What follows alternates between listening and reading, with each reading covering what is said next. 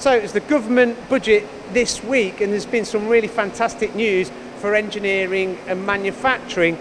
How can this budget help engineers, Paul? It was really good to hear the super deduction scheme that was announced, which basically means um, that you can get 130%, or you can reduce your tax bill. Um, you can get 130% on your capital allowances, basically. Whereas, I mean, and we'll break this down into real time. Um, but it is fantastic news for those that are looking to invest and grow their companies. And what does that actually mean, 130%, Paul? Well, I mean, you'll currently know that we have um, the, the, currently the, the lowest corporation tax in the, in the G7. But of course, any company that makes makes a profit needs to pay taxes on those profits. But what you can and have always been able to do is invest in plant and technology in order to offset that so you pay less tax, therefore growing your company. I mean, as an example here, we look at what um, Turn have just invested. You know, this this could be hundreds of thousands of pounds, and if you've made hundred, hundreds of thousands of pounds worth of profit, you're obviously going to have to pay quite a hefty corporation tax bill. Now, just to break it down in real terms, let's say, for example, you made a £100,000 profit in your company. Um, and let's say, as of you know this month, because it didn't start till April the 1st, that you bought a £50,000 machine.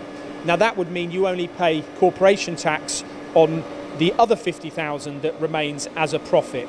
But what happens now is you get 130% of the allowance. So that would mean now you only pay corporation tax on £35,000 of that profit. So therefore, it's it's kind of a cash injection into your business. It's great news, but is it a good time to invest? Well, this this makes it all plausible, and what this does is it's it's the government.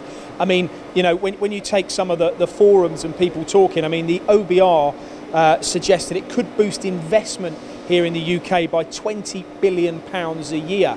Now, you, you, you imagine for an, uh, there's an example if you were to um, invest in a factory that costs 10 million pounds, this could almost be like a cash injection or a cash saving or a cash injection really of a million pounds uh, to you as a business. So with this investment, you know, is it going to make companies more competitive like Milton? and is that going to contribute to reshoring work back to the UK? Possibly. What I think this is going to do, and I think it's quite clever by the government because they have spoken about putting corporation tax up in years to come. We all know that, you know, what we've gone through has to be paid for. But what they really are doing is, is, is putting a stake in the ground saying that invest in your company, invest in the UK. You know, you, you imagine what this could do to the automotive industry and all of these areas by people investing in factories, investing in, in, in, plant. Of course, you have to qualify, and there are certain things you need need to check out on the on the government website. But in principle, this is great news for businesses that want to do like what Ian's done here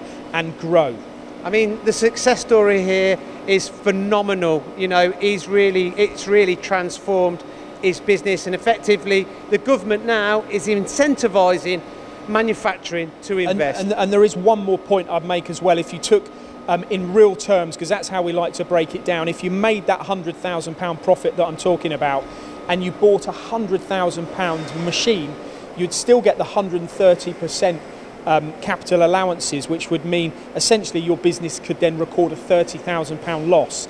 Now we all know with losses they can be carried backwards. So if you made a profit the year before, or the you know you can then offset that against your previous profits, which again can be a cash injection into your company. This is the time to be uh, be serious about uh, these kind of opportunities and invest in your company. I believe, and MTD believe.